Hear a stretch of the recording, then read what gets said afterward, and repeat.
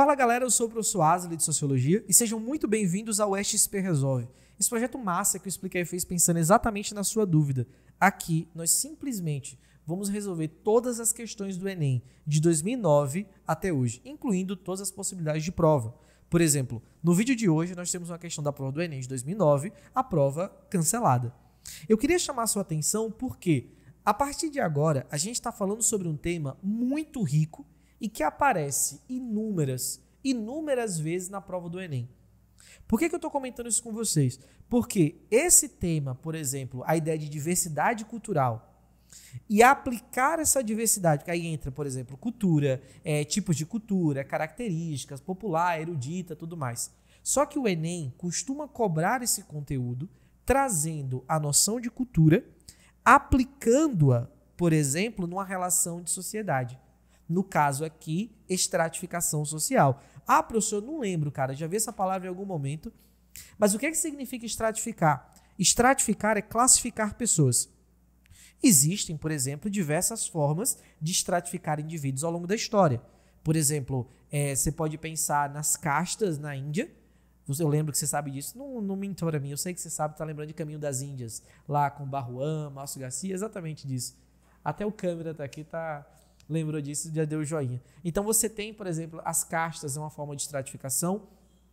A sociedade estamental, aquela do feudalismo, também é uma forma de estratificação. Lembra da pirâmide? Com certeza, seu professor de história, ele fez uma pirâmide para você e colocou: olha, aqui é o clero, aqui é a nobreza, e aqui, por exemplo, são os camponeses. Isso também é estratificação social. E a forma mais comum que é perceptível hoje é, por exemplo, a sociedade de classe.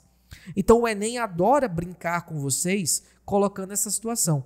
Explorar alguma característica cultural e trazer essa possibilidade de aplicação, por exemplo, na distinção entre ricos e pobres, acesso ou não a serviços. Então fique muito atento. Eu considero um assunto simples, que os alunos normalmente têm muita facilidade em dialogar com esse tipo de questão. Mas vamos aqui para o nosso texto. Ó. Quatro olhos, quatro mãos e duas cabeças formam a dupla de grafiteiros, os gêmeos, que eu imagino que vocês devam conhecer. Inúmeras obras dele, por exemplo, na, em São Paulo.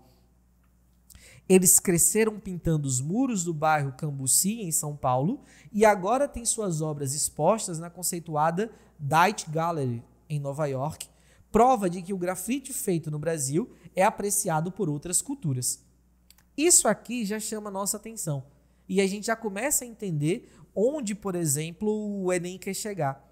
Porque o tipo de arte, por exemplo, os gêmeos, mas eles podiam pegar qualquer outro, qualquer outro artista. Os gêmeos é interessante porque o que é que nós temos? Ó?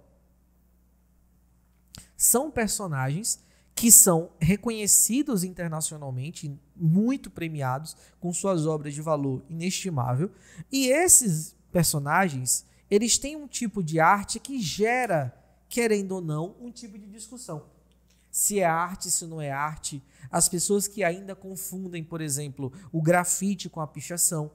Porque a arte é a manifestação cultural de um determinado grupo.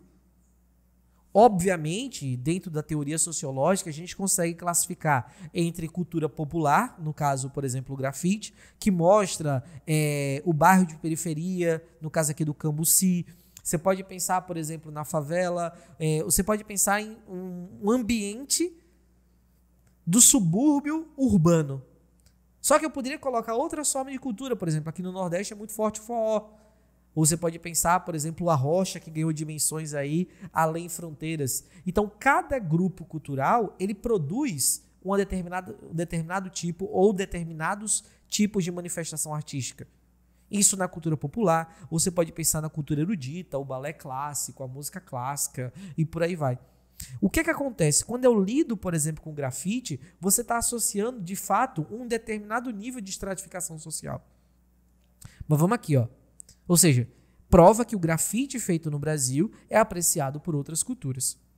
Muitos lugares abandonados e sem manutenção pelas prefeituras das cidades tornam-se mais agradáveis e humanos, com os grafites pintados nos muros.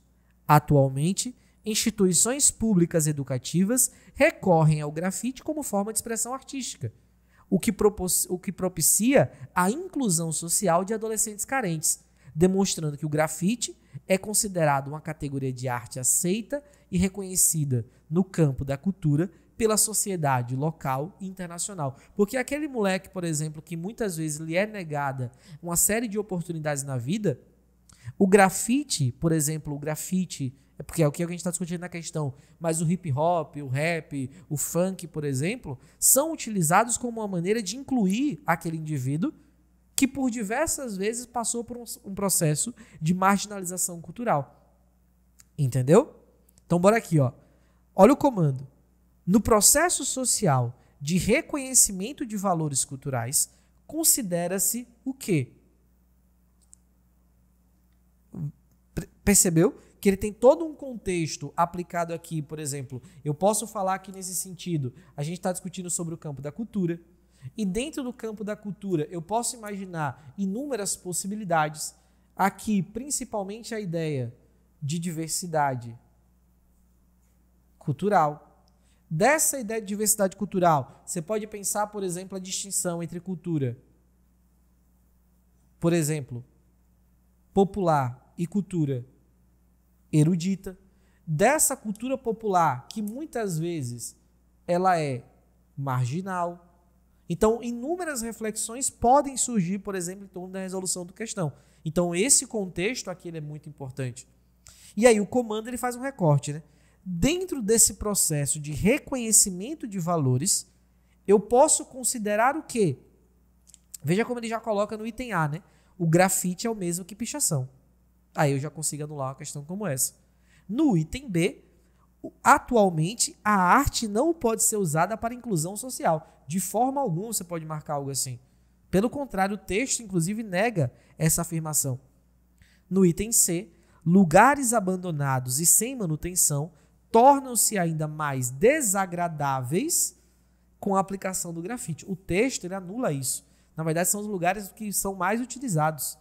E já vai contra toda aquela ideia, por exemplo, da destruição de propriedade, entendeu? Não só ele utiliza lugares abandonados, mas também já é um recurso muito utilizado por empresas, por exemplo, à medida que você anda na, pelas cidades, tipo, mais hoje, mais cedo, vindo, por exemplo, Explicaê, eu encontrei, por exemplo, um hotel que tem dentro da sua arte o grafite também. Então é uma maneira também de você projetar essa arte e trazer uma representação, por exemplo, o grafite, no caso local, aqui da nossa região. No caso do item D, olha o que ele coloca. Os grafiteiros podem conseguir projeção internacional, como é o caso dos gêmeos, demonstrando que a arte do grafite não tem fronteiras culturais. No caso, os caras estão pintando, por exemplo, a realidade deles em São Paulo, na periferia de São Paulo, no bairro de São Paulo. Vocês têm os gêmeos hoje na Avenida Paulista, em grandes prédios, com é, Parque do Ibirapuera, e você tem, por exemplo, também eles sendo expostos lá em Nova York. Então, de fato, a arte nesse sentido, por mais que ela transborde um aspecto local, no caso de um grupo de jovens paulistanos, mas ela também pode ser apreciada em qualquer outro lugar do mundo. Por isso eu ficaria com o item D, que é o nosso gabarito. No caso do item E, a população das grandes metrópoles depara-se com muitos problemas sociais, como grafite e pichação. É óbvio que na cidade não faltam problemas, mas o grafite em si, talvez a pichação cause mais confusão, mas o grafite em si ele não é necessariamente um problema social. Nesse caso, a gente fica aqui com o item D. A arte, ela não apresenta, apesar de ter características locais, ela não apresenta necessariamente fronteiras, beleza? Espero que tenha tirado dúvidas de vocês e a gente se vê logo logo. Valeu!